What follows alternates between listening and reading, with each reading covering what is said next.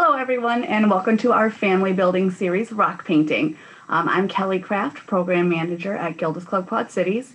And today I just want to have a conversation about a fun activity called rock painting. Um, it's exactly what it sounds like. It's a great activity for kids, adults, whole families together. Um, and it's really easy and um, a very inexpensive um, activity to do. So the first thing I like to talk about when it comes to rock painting is the reason behind it there are whole groups uh, dedicated on you know on facebook and um, that get together um, to paint rocks and um, talk about painting rocks. And i think it's a really neat activity to do especially with kids because you can really talk about doing something for other people. Um, when i'm painting rocks i really love to think about the idea of somebody stumbling across this rock and it making their day and them seeing this brightly painted rock and think about um, the you know, the work and the heart that went into it. Um, so if you are feeling like you want to try out painting rocks, all you need is first a rock.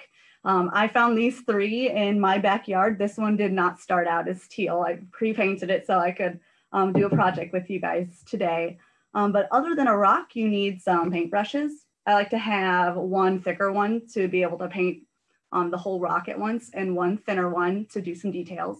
You can also use, um, you know, some Sharpies or paint pens um, if you want to do more detailed work. There's really no limit to what you can do. And then you also need some paint. Um, acrylic paints are usually the best for, um, for painting on rocks. I have these ones. Um, I'm not even sure what brand they are anymore. Um, but you can get acrylic paint really cheap anywhere, Michael's, Walmart, online, really anywhere that you um, that sells any sort of craft supplies, you can get acrylic paints. Um, you can get them at garage sales. Um, your family may, you know, grandma or grandpa may have some around just from some old crafts. Um, but acrylic paint is a really common one, really easy one to find. Um, and what I like to start doing um, is I find my rocks. the any size works. Um, and then you wash them. You definitely don't want to leave them dirty. Obviously, you don't want to paint over mud and dirt. Um, so always rinse um, and wash your rocks before you start painting with them and make the final product look um, a lot better. And all, I, I, don't even know what types of rocks these are. Um, so any type of rock works. I actually think this might have been a ball of concrete, which is fine. Um, really any type works. I really love this one because I found it and it was shaped like a heart already. So I have an idea of painting this one kind of a pink or a red. Um, I personally like to pre-paint a rock. And so I paint it all one color so that I can do details on top with another color. Um, so I sometimes do them in more than one session. So this one, I painted this beautiful teal this morning. Um, and this one I think I'm gonna do um, in kind of a red here. Um, so make sure your table's nice and covered too. There's no way to not get paint all over the place and make sure you have some water um, around for your paintbrush and really just have fun with it. There's no rhyme or reason or way that you have to go about painting a rock. Just have fun. And I like to, while I'm doing it, think about, um, you know, what the person who might find this rock would think. Um, because the fun thing about painting rocks is it's a two part activity. So you get to paint the rock together with your loved ones or just by yourself if it's something that relaxes you. Um, I'm of course getting paint all over my hands.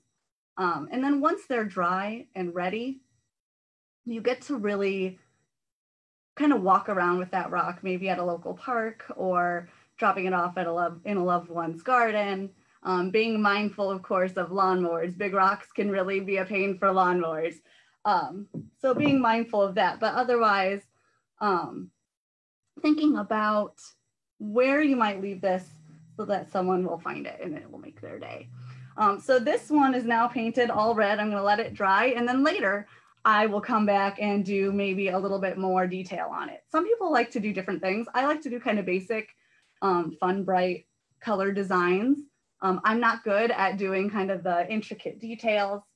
Um, but some people really like to do, you know, cool patterns or whole paintings on them, getting really detailed. Some people like to do quotes on them, which I think is really cool. I don't have that kind of finesse with a paintbrush, but if you had like a paint pen or something like that, that would work really, that would probably be really neat.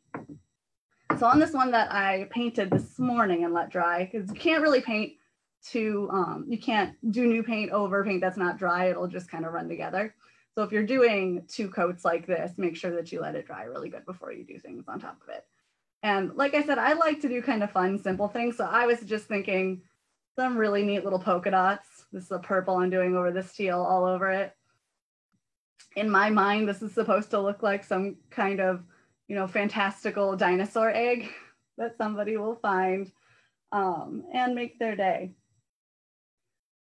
So while you're sitting at home painting your rocks with your family, just think about what the person who finds that rock, what they might think, the smile that might come on their face when they find it. Um, and maybe that will get them to think of uh, painting rocks for other people. So it's kind of a pay it forward thing if you've ever found a rock. Um, again, a really quick, easy, fun um, activity for the whole family. Um, keep keep tabs on all of our virtual programs that we have going on. You can sign up for anything we have available at gildasclubqc.org/calendar. Thanks.